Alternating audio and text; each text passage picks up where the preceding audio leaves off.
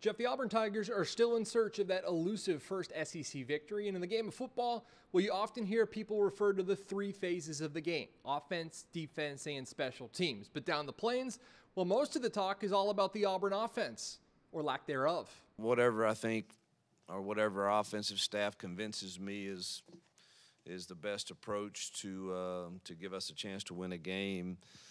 Um, I've said uh, from day one that uh, I, I, think Robbie has a place and it's his place every down. We'll, we'll see this week. And Freeze reiterated Monday morning that the offense needs to continue to play to their strengths.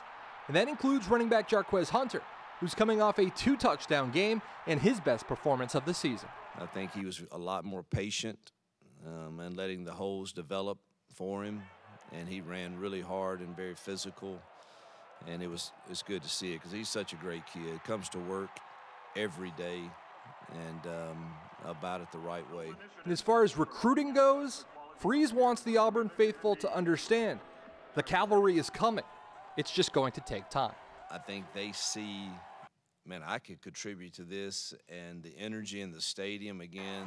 They they feel that on Tiger Walk. They see that in the stands, and we just. Uh, need a group in the 24 and 25 class to come join us to um, to really get this thing kick-started. Jeff, the Tigers now turn their attention to prepping for Mississippi State in a Bulldog defense that ranks top of the conference in many defensive categories.